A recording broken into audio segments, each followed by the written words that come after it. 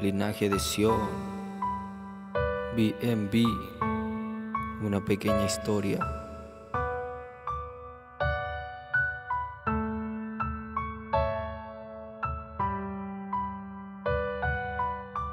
Dice, yo vivía una vida normal donde yo pensaba que nada malo me iba a pasar. Me sentía muy seguro al momento de caminar, que no necesitaba nada, que nada me iba a parar, iba de frente, siempre sonriente. La felicidad que reflejaba la podía ver toda la gente, que tenía amigos que estaban presentes. Tenía una polola que me amaba y me llenaba completamente, y así eran las cosas. Mi vida era maravillosa, no había pena, dolor, todo era color de rosa.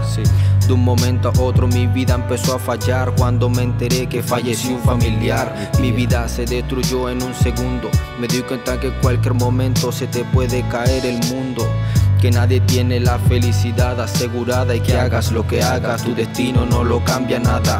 Y seguí mi vida a pesar de lo que había pasado, pero lamentablemente no pude seguir. Me echaba la culpa por quedarme de brazos cruzados y mi vida se resumía solo a sufrir. Ya no me levantaba, estaba como postrado, decía de este vacío no voy a salir. Yo decía me corto el cuello de lado a lado porque ni siquiera tengo ganas de vivir. Y así fue como se destruyó mi vida. Yo sentía mi alma romperse en cada despedida. Donde yo andaba escuchaba hablar de ella y en cosas de segundo recordaba su rostro tan bella. Solo caminaba sin rumbo mirando las estrellas pensando que está en el cielo y que era una de ellas. En eso encontré un consuelo, me dormía mirando el cielo recordando cómo lloraba mi abuelo. En tantos momentos de soledad en el día donde hay tantas preguntas y el temor me invadía. Yo no entendía por qué asesinaron a mi tía y fue una persona la cual yo más quería. Solo queda recuerdos de lo que fue ayer. Tendré que acostumbrarme a que ya no la volveré a ver.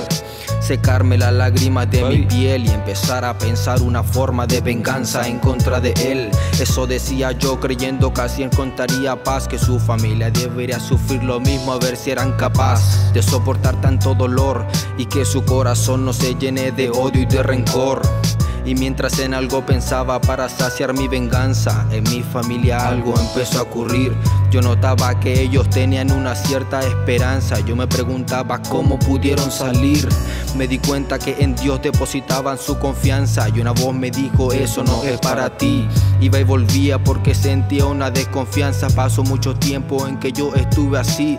Escuchaba una voz que poco a poco me alcanza y me decía: Hijo, ya es tiempo de decidir.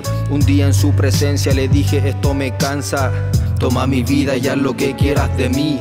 En ese momento conocí a ese Dios lejano al cual yo le pedía y parecía que todo era en vano. Lo sentían tan cerca, ahora era como mi amigo, sus brazos rodeándome, él siempre estuvo conmigo. Su amor sobrenatural sanando mis heridas, entre tanta oscuridad encontré la salida. Yo sé que va a ser loco lo que van a escuchar, pero les contaré que a mi tío llega a perdonar, porque conocí a Jesús aquel que me dio luz, el que pagó por mí hasta lo último en la cruz, para que hoy yo viva y escriba de él en el papel, porque nunca conocí persona más fiel.